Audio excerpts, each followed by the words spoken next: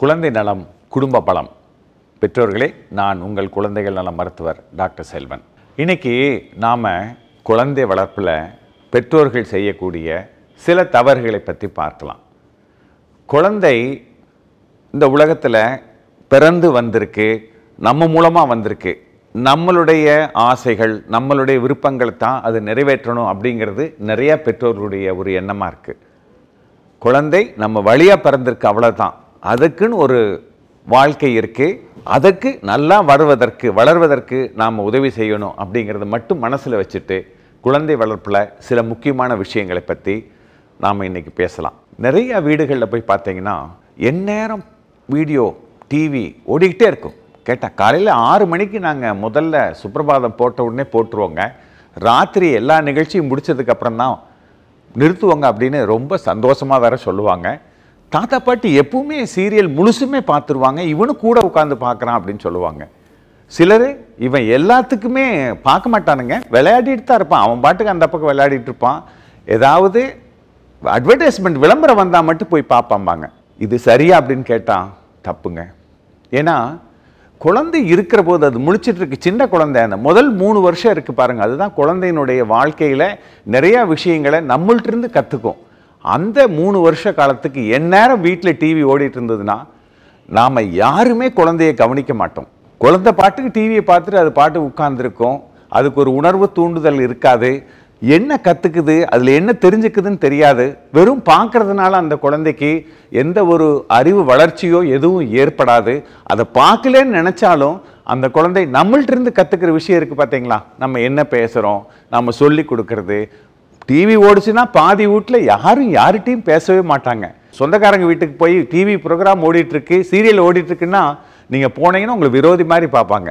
அதனால் டிவி எந்நேரம் வீட்டில் ஓடுறது நிறுத்திக்கங்க. குழந்தை சின்ன குழந்தை இருக்கிற வீட்டில் குழந்தை தூங்கினதுக்கப்புறம் தான் டிவி போடணும். சின்ன குழந்தைகள் இருக்கிற வீட்டில் பன்னிரெண்டு வயசு வரைக்கும் இந்த திறன்பேசிகள் கைபேசியை பயன்படுத்தாதீங்க. ரெண்டாவது இந்த கைபேசி திறன்பேசி டிவி இல்லை மொபைல் கம்ப்யூட்டர் இதெல்லாம் என்ன பண்ணுவாங்க? அதை போட்டு விட்டுட்டு சாப்பிடும்போது அந்த குழந்தைகளுக்கு சாப்பாடு கொடுப்பாங்க. அந்த குழந்தை சாப்பாட்டினுடைய ருசியவே ஒன்றும் தெரியாது அதுக்கு.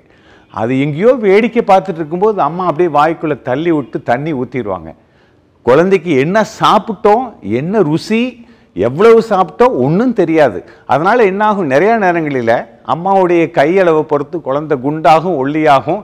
அதை விட உணவை பற்றி ஒன்றுமே தெரிஞ்சுக்காது. எத்தனை வயசு ஆனாலும் சரியான உணவு பழக்கம் அந்த குழந்தைக்கு இருக்காது. நம்ம குழந்தைகளுக்கு நம்ம என்ன எதிர்பார்க்குறோம்? அவன் வகுப்பில் அவன் தான் முதல் ரேங்க் எடுக்கணும். மற்ற எல்லா பரீட்சையும் எல்லா விளையாட்டும் எல்லாத்துலேயும் அவன் தான் முதல் இடம் பிடிக்கணும்னு நினைக்கிறோம். அதனால் நம்ம குழந்தை அது கம்மியாயிடுச்சுன்னு வச்சுக்கோங்க. உடனே என்ன நீ இப்படி இருக்க? பக்கத்து வீட்டு பையனை பார்த்தியா? உங்கள் அண்ணனை பார்த்தியா? உங்கள் பெரியப்பா பையனை பார்த்தியா? உங்கள் சித்தப்பா பையனை பார்த்தியா? அவன் எவ்வளோ நல்லா இருக்கான். நீந்தா இருக்க ஒரு முட்டாள் அப்படின்னு நாம் திட்டுறோம் அந்த குழந்தைய. இது தப்புங்க. ஒரு ஒரு குழந்தைக்கும் அதுக்கு ஏற்பட இருக்கக்கூடிய சூழ்நிலையில் அதுக்கு தெரிஞ்ச சில விஷயங்களில் அது சிறப்பாக இருக்கும். அது எந்த விஷயத்தில் சிறப்பாக இருக்குது அதனுடைய வளர்ச்சி நல்லா இருக்குங்கிறத கண்டுபிடிக்கிறது தான் நம்மளுடைய வேலையாக இருக்கும். அதை மட்டும் நாம் செய்ய வேணும். ஒரு குழந்தையும் இன்னொரு குழந்தையும் நீங்கள் சேர்த்து எடை போடாதீங்க மட்டம் தட்டாதீங்க தாழ்த்தி பேசாதீங்க. ஏதாவது குழந்தை தப்பு பண்ணுச்சுன்னு வச்சுக்கோங்க நிறையா பேர்த்துக்கு கோபம் வந்துடும் இதில் நிறையா வீடுகளில் அந்த பொருளாதார சூழ்நிலையினாலேயோ அவங்களுக்கு வேலை பழுவுனாலேயோ பெற்றோர்கள் கோபம் வந்து குழந்தையை கை வச்சிருவாங்க. இது அடிக்காதீங்க குழந்தைய. ஏன்னா நம்ம சூழ்நிலை எதாக இருந்தாலும் நம்ம ஒரு தடவை கை வச்சுட்டோம் குழந்தைய அடிச்சிட்டோம் அப்படின்னா குழந்தை நம்ம மேலே ஒரு வன்மத்தை கொஞ்சம் கொஞ்சமாக மனசில் ஏற்றிக்கும் நாளாக ஆக அந்த குழந்தை நம்மளுடைய குழந்தை மாதிரி தான் இருக்கும் ஆனால் அது என்னைக்கு நம்மளுக்கு ஒரு பழி வாங்கலான்னு ஒரு சந்தர்ப்பத்தை தான் எதிர்பார்த்துட்டு இருக்கும். அதனால் குழந்தைகளை அடிப்பது கட்டாயம் தவிர்க்க வேண்டும்.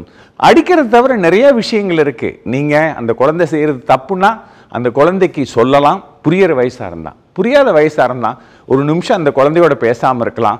ஒரு மூலையில் உட்கார வைக்கலாம். குழந்தையோட விளையாடாமல் இருக்கலாம். வெளியே கூட்டிகிட்டு போகாமல் இருக்கலாம். இப்படி சின்ன சின்ன விஷயங்களை செய்வதன் மூலம் குழந்தைக்கு அது செய்த தவறை புரிய வைக்கலாம்.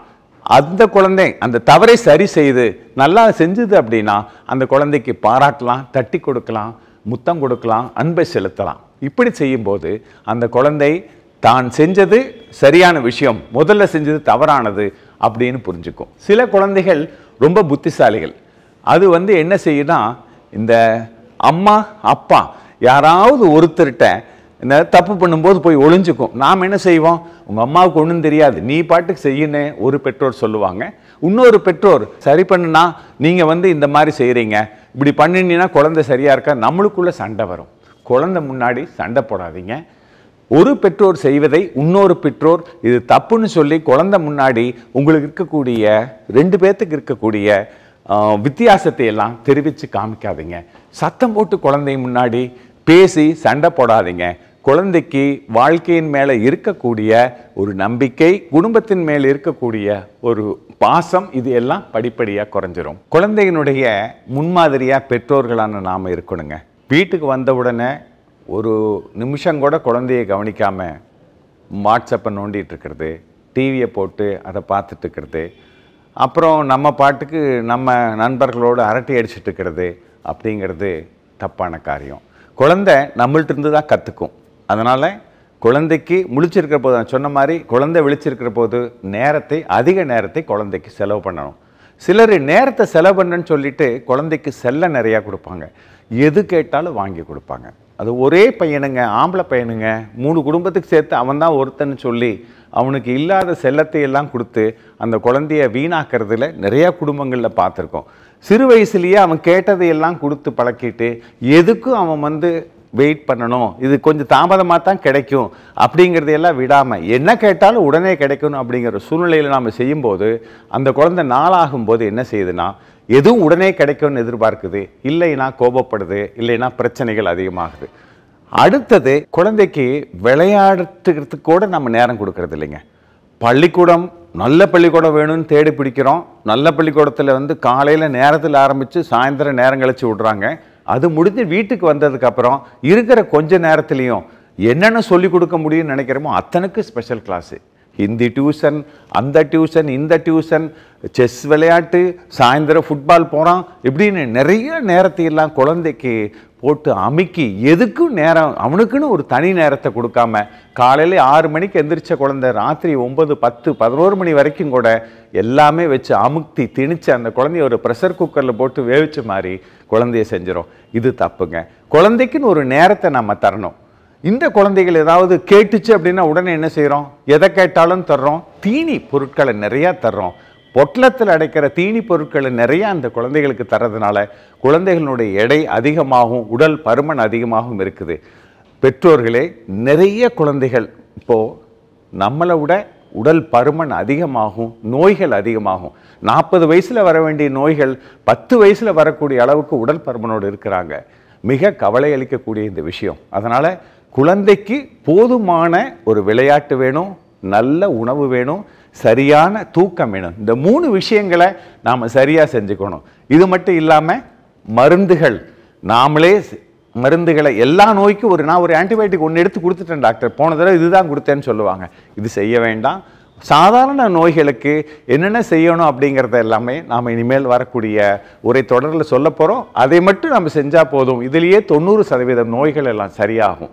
நல்ல உணவு உடற்பயிற்சி உறக்கம் சரியான குடும்ப சூழ்நிலை.